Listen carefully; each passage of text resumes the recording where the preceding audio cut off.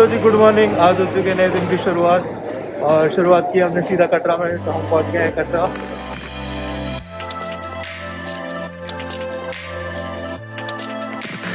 Hello जी, आशा करते हैं आप सब बढ़िया होंगे और आगे भी बढ़िया ही रहना। तो आज हमारा दूसरा दिन इंडिया में, और आप जैसे मेरे पीछे देख सकते होंगे, मैं खड़ा हूँ ट्रेन स्टेशन पे।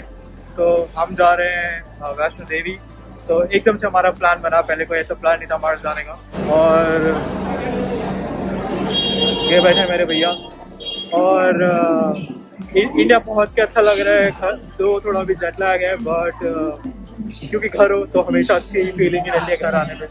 और यहाँ पे भी मास्क लगाना ज़रूरी है। काफ़ी सारे लोग बिना मास्क के भी घूम रहे हैं बट हमने मास्क लगा लिया अपने प्रिकॉशन अपने हाथ में। और ट्रेन के अंदर भी मास्क लगा के बैठना पड़ेगा तो देखते हैं कैसे बैठा जाएगा इतनी लंबी जर्नी में। और हमने बीच में खाना भी खा लिया, हम हल्दीराम बैठे थे, वहाँ खाना खा लिया। और ट्रेन एक्चुअली काफ़ी भरी हुई लग रही है। पहले लग रहा था कि ट्रेन शायद खाली होगी बट काफ़ी भरी हुई ट्रेन है और हमारी ऊपर वाली बर्थ है। तो देखते हैं कि ऊपर नींद कैसे आएगी। और इस टाइम ट्रेन में ना कंबल मिल रहे हैं, ना चादर मिल रही है तो आप अगर ट्रेन में ट्रैवल कर रहे हैं तो अपने चादर या कंबल लेके आए। अगर आप एसी में ट्रैवल कर रहे हैं, क्योंकि रात को काफ़ी ठंडा हो जाता है। और यहाँ पे गर्मी बहुत ज़्यादा है तो मास्क लगा के थोड़ी ज़्यादा ही गर्मी लग रही है। पर ठीक है, इतना तो सहल है तो अभी बज रहे हैं साढ़े आठ और हमारी ट्रेन चलने वाली है दस मिनट में, और हम पहुँचेंगे सुबह। तो हम पकड़ते हैं ट्रेन और आपको मिलता है वैष्णो देवी में, और दिखाते हैं बीच के नज़ारे, अगर कुछ आएँगे तो।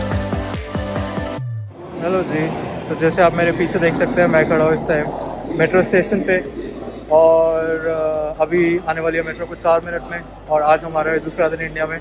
तो मेट्रो ट्रैवल देख के थोड़ा पुरानी यादें याद आ रही हैं, जब मैं ऑफ़िस जाया करता था मेट्रो से डेढ़ डेढ़, दो दो घंटा और अभी पीक टाइम है तो मुझे घर से मेट्रो स्टेशन पहुँचने में कुछ फोर्टी फाइव मिनट्स लग गए।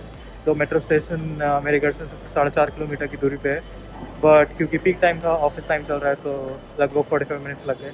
तो मैं लेट नहीं हूँ टाइम से ट्रेन स्टेशन पे पहुँच जाऊँगा। और यहाँ से मुझे लगभग एक घंटा लगना चाहिए नई दिल्ली रेलवे स्टेशन पे पहुँचने के लिए। और ये प्लान बहुत ही सडन बना कोई ऐसे पहले से प्लानिंग नहीं थी, बस सडनली मन में आया कि वैष्णो देवी जाना है और सब लोग तैयार हो गए। दो हमारे साथ दो तीन लोग नहीं जा पा रहे हैं क्योंकि उनकी तबीयत ठीक नहीं है। बट हम जा रहे हैं और इनकी तरफ़ से भी हम दुआ करेंगे। और मौसम बहुत ही गर्म है बट क्योंकि ट्रेन में कुछ भी नहीं मिलेगा, चादर एंड ऑल कंबल तो वो ले लिया है सब साथ में पूरा बाग बना लिया है।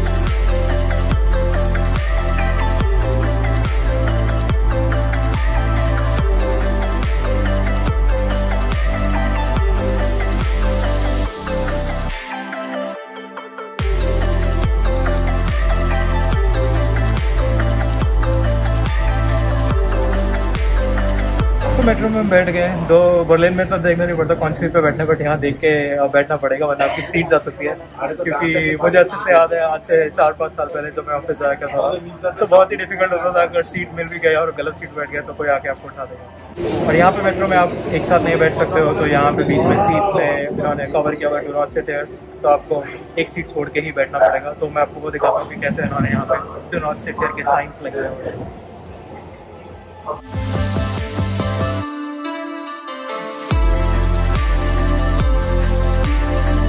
तो लगभग 40 मिनट्स का ट्रैवल के बाद हम पहुँच गए राजीव चौक और यहाँ से हम लेंगे दूसरी ट्रेन जहाँ से हम पहुँचेंगे नई दिल्ली। तो लेते हैं अपनी दूसरी मेट्रो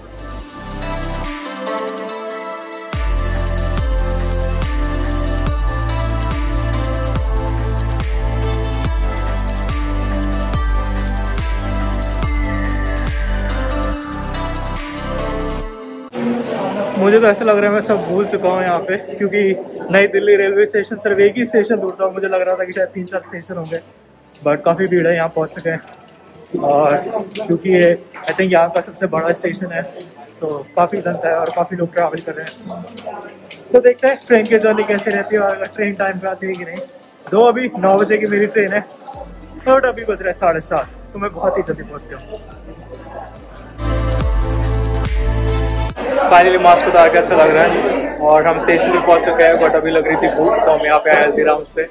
तो आप मेरे पीछे देख सकते हैं। ये काउंटर यहाँ पे। और कुछ खाते हैं पहले, और ट्रेन में अभी एक घंटा है। तो हमने सोचा कि क्यों ना हल्दीराम में स्पेंड किया जाए।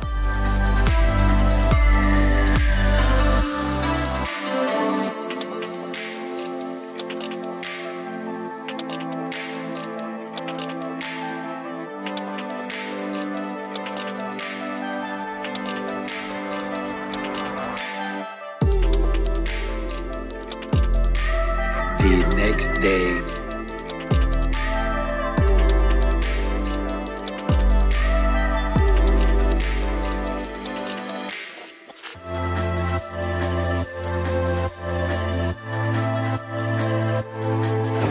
तो जी गुड मॉर्निंग आज हो चुके नए दिन की शुरुआत और शुरुआत की हमने सीधा कटरा में तो हम पहुँच गए हैं कटरा और अभी बज रहे हैं सुबह के आठ और हम निकल रहे हैं स्टेशन से बाहर और ये हमारी ट्रेन जिससे हम आए थे और यहाँ लगी हुई लंबी लाइन, जैसे आप मेरे पीछे देख सकते हो फिर तो लाइन लगा के आपको यहाँ से बाहर निकलना है। और इसके बाद हम जाएँगे आई आर सी टी सी के गेस्ट हाउस में। और वहाँ होंगे जल्दी से फ्रेश और फिर चढ़ेंगे चढ़ाई के लिए। तो चलते हैं स्टेशन से बाहर निकलते हैं और पहुँचते हैं अपने गेस्ट हाउस पे।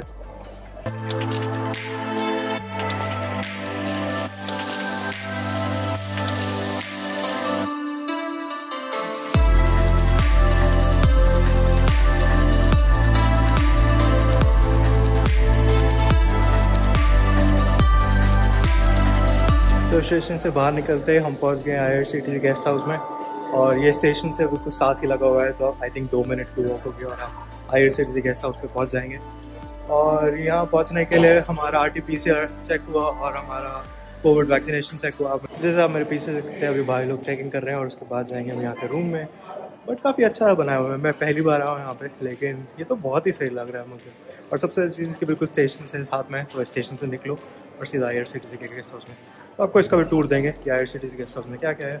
अब यहाँ पर मुझे एक शॉप दिख रही है खाने पीने के लिए, प्रसाद के लिए, आप वहाँ, वो भी ले सकते हैं यहाँ से।